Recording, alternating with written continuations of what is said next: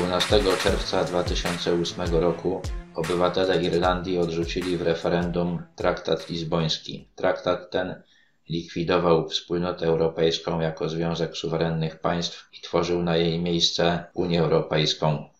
Znosił zasadę jednomyślności przy podejmowaniu decyzji obowiązującą we Wspólnocie Europejskiej. Ustanawiał przewodniczącego Rady Europejskiej, czyli europejskiego premiera, wysokiego przedstawiciela Unii do spraw polityki zagranicznej, czyli unijnego ministra spraw zagranicznych, tworzył Europejską Służbę Dyplomatyczną, zobowiązywał państwa członkowskie do przestrzegania tzw. Tak Karty Praw Podstawowych. Do tych praw należy m.in. zakaz orzekania i wykonywania kary śmierci.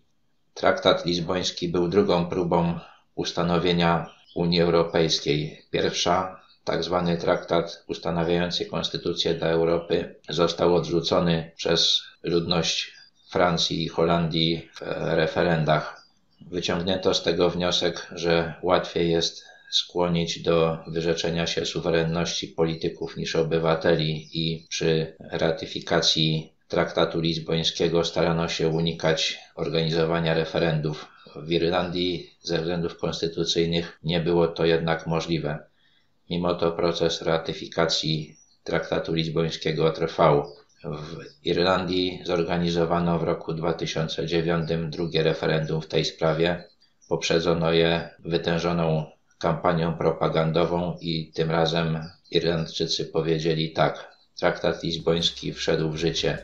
Wyznacza on ramy prawne dla procesu likwidacji państw narodowych w Europie. Proces ten trwa przez cały czas.